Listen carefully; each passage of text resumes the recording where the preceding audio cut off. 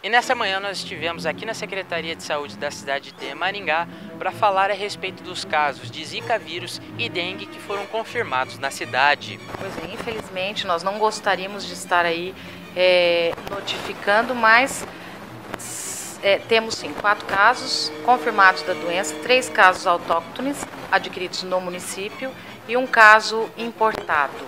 Então, divulgamos hoje também os números da dengue, que são 50 casos confirmados e 786 casos notificados. Isso realmente é, nos deixa preocupados. Ela aproveitou para falar qual o meio que a Secretaria de Saúde está trabalhando para evitar que se espalhe e também como o cidadão pode ajudar. Bom, desde 2015 nós já intensificamos as ações no combate à dengue.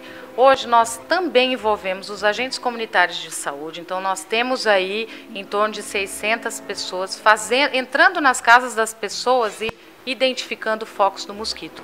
O objetivo realmente é esse, só que é, não depende somente do poder público, isso que tem que ficar muito claro para a população, depende de cada um de nós, de cada um fazer a sua parte.